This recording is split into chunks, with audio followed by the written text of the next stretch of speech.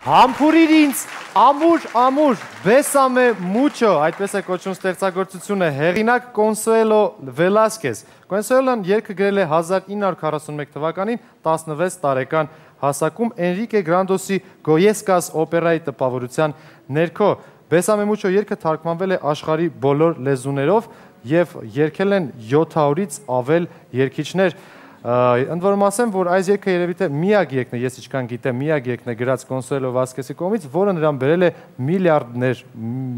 միլիարդներ, տրիլիոններ եւ այլն եւ այլն։ Մի խոսքով Սուրեն Սամվելյան, Բեսամե Մուչո, դիմավորեք։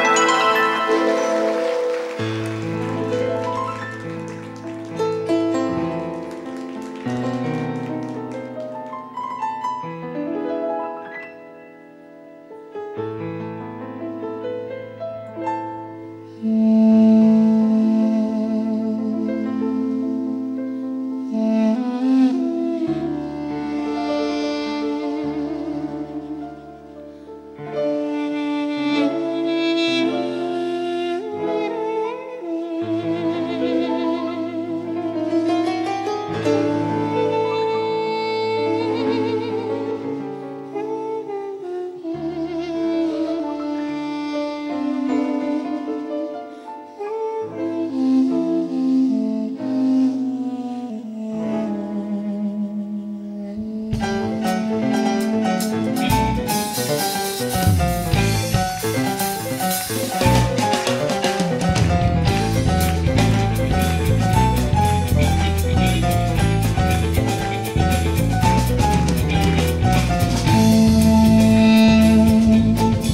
Mm-hmm.